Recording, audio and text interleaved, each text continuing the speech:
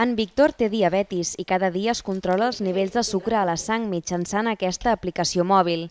De fet, va ser ell mateix qui la va idear i desenvolupar, ara fa sis anys, quan va veure que les apps que hi havia al mercat no eren prou precises.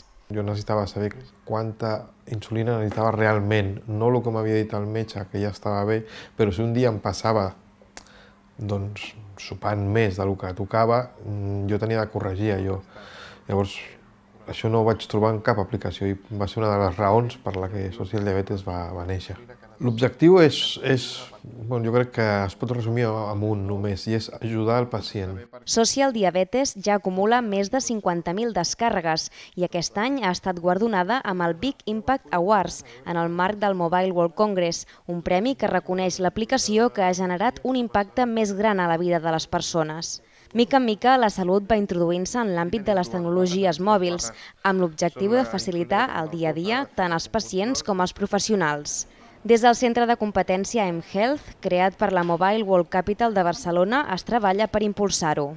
Tenim una eina que ja hi és, no hem d'inventar-la, ja existeix. Llavors, mHealth és la forma que aprofitem la informació digitalitzada, l'evidència clínica i l'eina que és el mòbil. I l'objectiu nostre és justament això, és dir, aconseguir una cosa, un somni de la humanitat, que és tenir salut personalitzada. El mòbil, la tecnologia permet diferenciar cada persona i personalitzar la medicina.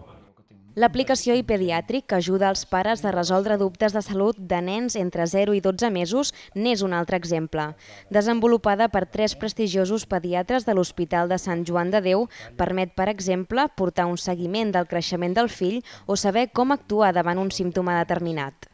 És important saber que aquesta aplicació no et dona un diagnòstic, això que és una feina que està reservada a nosaltres, als pediatres, no?